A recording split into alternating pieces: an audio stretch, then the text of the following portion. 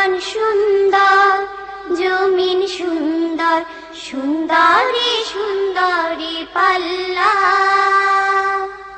জানি না কত সুন্দর তুমি আল্লাহ। আসসালামু আলাইকুম ওরহমতুল্লাহি ওবরকাত প্রিয় ভাই বোনেরা, আমরা ফিরে এলাম ছোট্ট একটা বিজ্ঞাপন বিরতির পর। আশা করি আপনারা আমাদের সাথেই আছেন। এবং দেখতেছেন আমাদের সবার প্রিয় অনুষ্ঠান জীবন জিজ্ঞাসা উইথ এনটিভি। তো ভাই বোনেরা চলুন আমরা বিরতির পূর্বে কয়েকটা প্রশ্ন নিয়েছিলাম এগুলোর ইনশাল্লাহ উত্তর খোঁজার চেষ্টা করি। হুজুর বিরতির পূর্বে আমাদের এক ভাই প্রশ্ন করেছিলেন এটা বেসিক্যালি সম্পদ নিয়েই বুঝাইতে চাইতেছিলেন যে বোনের বা ছেল ভাইয়ের তারপরে মায়ের কতটুক সম্পদ যে সময় ভাগ করে দেওয়া হয় কতটুক মিলে। জি ভাই এটা হইল কি ফারাইজি সত্য, এটা স্পেসিফিকলি সব ফ্যামিলি সমান থাকে না, যেহেতু এগুলা স্পেসিফিক কারও সম্পর্কে বলা যাবে না। তা আমরা, এটা আপনার প্রশ্নের উত্তরে স্বাভাবিক নিয়ম যেটা বলে। যেমন একজন মানুষ যখন মারা যাইবেন, তখন প্রথমেই উনার সম্পদ থেকে তার ঋণগুলা দিয়ে দেওয়া হচ্ছে ফরজ। এবং উনি যদি কোনো ওসিয়ত করে যান, তার সম্পদের তিন ভাগের এক ভাগ দ্বারা ওসিয়ত পূর্ণ করা। এরপর উনার স্ত্রী যদি থাকেন এবং সন্তান সন্ততি থাকেন, তো উনার স্ত্রী পাইবেন সম্পূর্ণ সম্পদের আট ভাগের এক ভাগ সাড়ে বারো পার্সেন্ট তিনি পাইবেন। এবং বাকি যে সম্পদগুলা থাকবে তখন উনার যে ছেলে সন্তানেরা রয়েছে, এক বোন পাইবে অর্ধেক, ভাই পাইবে ডাবল অর্থাৎ মনে করুন, এক ভাই, দুই বোন। সম্পদকে অর্ধা অর্ধি করে ভাই পাইবেন অর্ধেক এবং বোন পাই দুই বোন অর্ধেক বেটে নিবেন। এইভাবে এক ছেলে ততটুকু পাইবে যতটুকু দুই মেয়ে পেয়ে থাকেন। আরেক কথায় একজন মেয়ে পাইবেন ছেলের অর্ধেক যে কোনোভাবে হিসাব করে, এইভাবে হচ্ছে সম্পদের বাট। তবে স্পেসিফিকলি সব মানুষ যেহেতু মারা যাওয়ার পর ওয়ারিসান সমান থাকে না, তাহলে কোনো মানুষের যদি রিয়েলি হিসাব করাইতে হয়, তাহলে ফ্যামিলির বর্ণনা দিয়ে কোনো আলিমের কাছে গেলে উনি তার তার বর্ণনা করে দিবেন যে কে কতটুকু পাইবে। জাজাকাল্লাহ অনেক সুন্দর করে বুঝিয়ে প্রশ্নের উত্তর দেওয়ার জন্য। তারপরে খোলারের প্রশ্ন ছিল যে মাঝহাব নিয়ে। এই যে আমাদের মাঝহাব বা শিয়ারা আরেকটা মাঝহাব বলতেছে, এটা কতটুকু ঠিক? জীবন আমরা জানি আমাদের আহলসুন্নত ওয়াল জমাতের মধ্যে চারটি মজহাব রয়েছে প্রসিদ্ধ।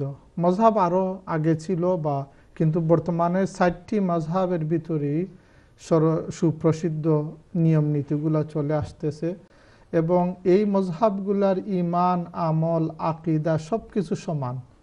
হ্যাঁ আইম্মায়ে মুস্তাহিদিন যারা রয়েছেন, কিছু কিছু মোস্তাহাব আমলের ক্ষেত্রে তারা ইস্তেহাদ করেছেন, একটু ডিফারেন্ট ডিফারেন্ট ইস্তেহাদ করেছেন। এর অর্থ এখান নয় যে তারা শরীয়তের উল্টা কিছু করে গেছেন। এবং হদিস ভিত্তিকই তারা কিছু আমলগুলাকে তারা তারা এক এক হদিসের উপর আমল করে এক একজন মুস্তাহিদ রায় দিয়ে গেছেন এবং তাদেরকে যারা অনুসরণ করেন তাদের রায়, হাদিস ভিত্তিক রায়, এটা হচ্ছে মজহব। এবং এই যে সাইরো মজহব, সাইরো মজহবের ইমান আকিদা সব কিছু কিন্তু আহলে সুন্নত ওয়াল জামাতের এখানে কোনো পার্থক্য নেই। আপনি যে বলেছেন শিয়া মজহাব, এটা হচ্ছে মজহব নয়, এটা হলো আকিদাগত মজহব। এদের মধ্যে মারাত্মক বদ আকিদা রয়েছে যে আকিদাগুলা ইসলাম এলাও করে না। এই জন্য এরা হচ্ছে বাতিল ফিরকা।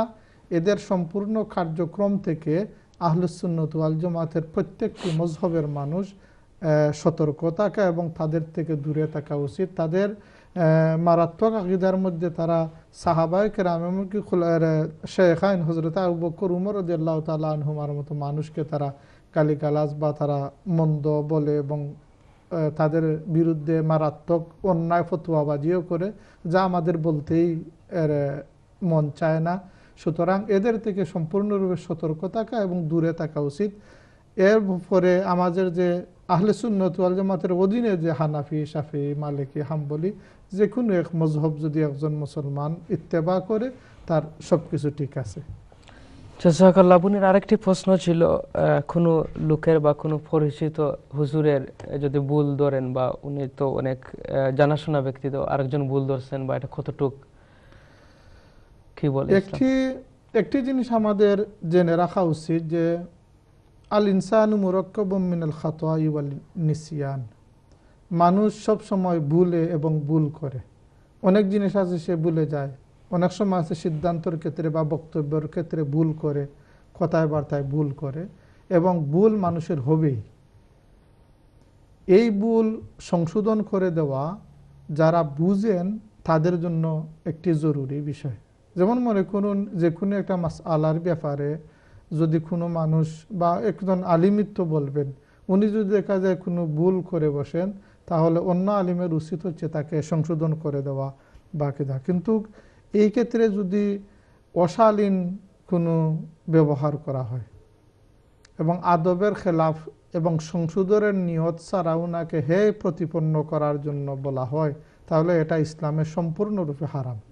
কিন্তু সংশোধন করে দেওয়া ইসলামের সবসময়ই উত্তম জিনিস। সাহাবাই কেরাম বা পরবর্তী আমরা বড় বড় আইম্যায় কেরাম তাদের জীবনে কেউ যখন তাদের ভুলকে শুদ্র করে দিত, তখন তারা তাকে খুব আদর করতেন এবং বলতেন, তুমি আমার একটি উপকার করেছ। কারণ আমি একটি ভুল করেছিলাম, তুমি আমার ভুলকে শুদ্ধ করে দিয়েছ। এবং সংশোধনের বিভিন্ন রীতি, পদ্ধতি রয়েছে।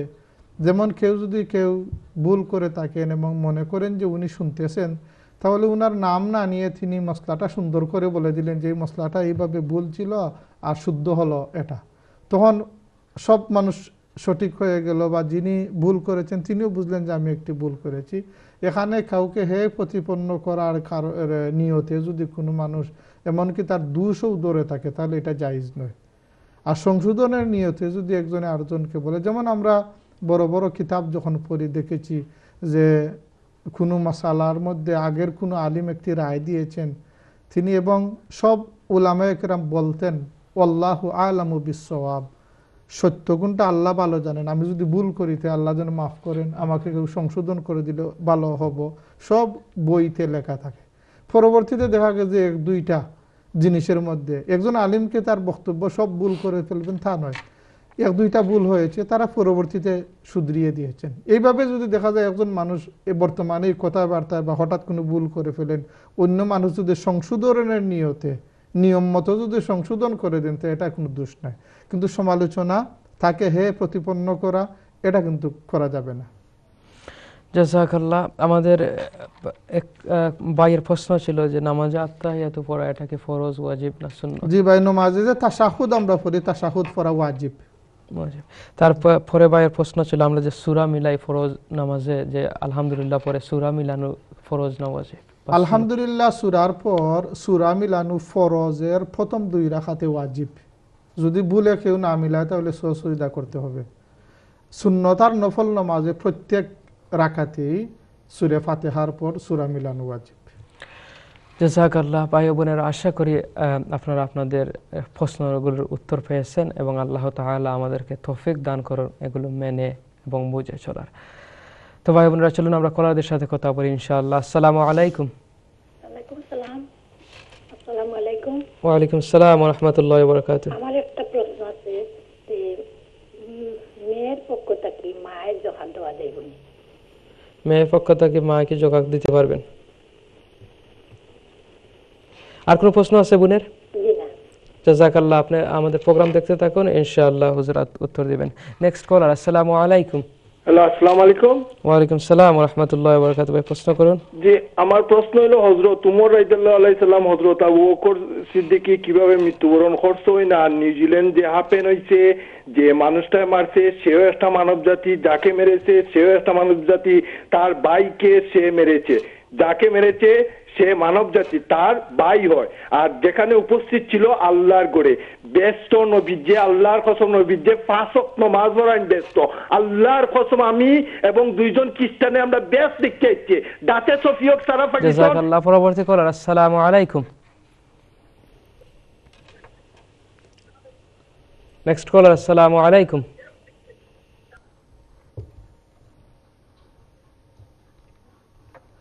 কলারকে হারিয়ে ফেলছি ইনশাল্লাহ আপনি আবারও ট্রাই করেন আমরা ইনশাআল্লাহ কথা বলার চেষ্টা করব।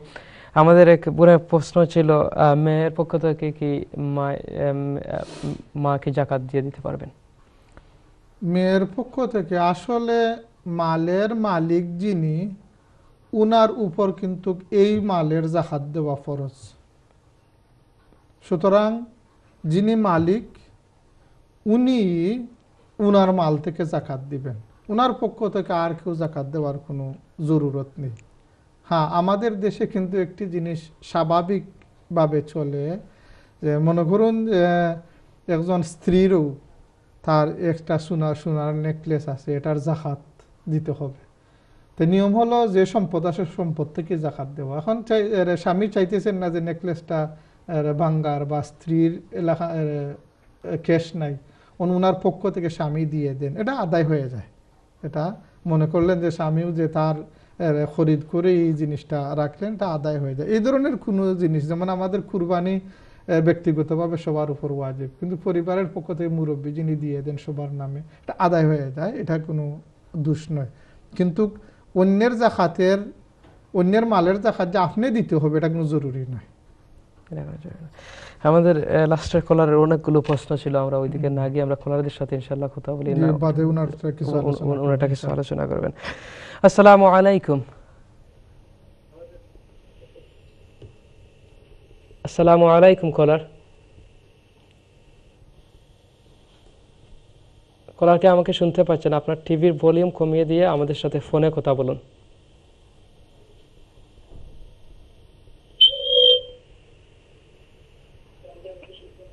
আসসালামু আলাইকুম ওয়ালাইকুম সালাম রহমতুল্লাহ বরকাত বোন প্রশ্ন করুন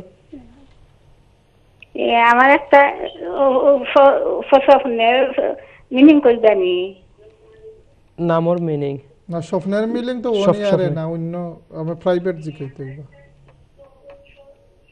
ওকে থ্যাংক ইউ ওকে আসসালামু আলাইকুম নেক্সট কলার আসসালামু আলাইকুম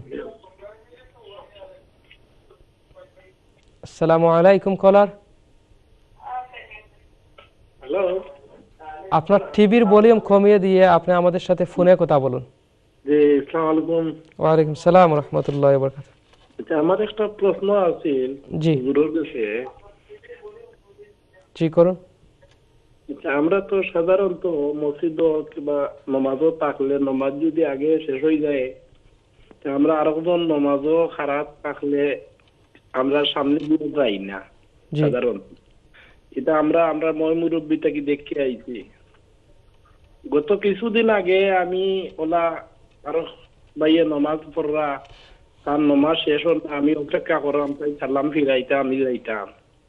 ওই সময় তান খান্দাত আরও একজন ভদ্রলোক বাংলাদেশের একজন বিশিষ্ট বারেস্টার তাইন। তাই না আমারে কয়রা আপনি যাই না কেনে? বলে, আমি যাইমু কিল্লা তাই নমাজও বলে, এটা কোনো সমস্যা নাই, আপনি যাইন গিয়া। বলে সমস্যা নাই কি আছে? আমি কিছু জানলাম। আপনি মাতো কেন? তাই না আর মারছই না। তো আমি জানতাম চাইলাম যে আমি যে উবাইলাম সামনে দিয়ে গেলাম না। আর বারেস্টার চাইলে বারেস্টার সারে যে কইলা ই বারেস্টারের সাবর নাম কইলা দুনিয়ার সকলে সকল মানুষে চিনবা। ওখানটা কতটুকু? বারেস্টার সাহর কথাটা, আর আমি যে অপেক্ষা করলাম ওখানটা আমি থেকে জানতাম প্লিজ ইনশাল্লাহ ওকে আসসালামু আলাইকুম ওয়ালাইকুম সালাম রহমতুল্লাহ বরকাত ভাই আমাদের প্রোগ্রাম আপনি দেখতে থাকুন ইনশাআল্লাহ হুজুর উত্তর দিবেন। পরবর্তী কলার আসসালামু আলাইকুম। কলার কি আমাকে শুনতে পাচ্ছেন? আসসালামু আলাইকুম কলার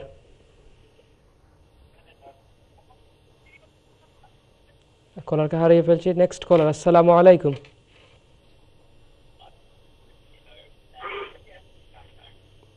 আসসালামু আলাইকুম কলার। ওয়ালাইকুম। সালাম রহমতুল্লাহ বরকাত ভাই আপনার টিভির ভলিউমটা আপনি কমিয়ে দিয়ে আমাদের সাথে সরাসরি ফোনে কথা বলুন। জি। হ্যালো।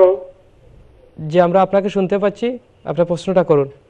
আমার প্রশ্ন হইল আপনার যে ইমাম সাহেবের পিছনে যখন আমরা নমাজ পড়ি ইমাম সাহেব জুড়ে পড়লে আমরা তো শুনতাম যে আসতে বলেন যে আমরা কি আলাম করতাম পারি না পারি না।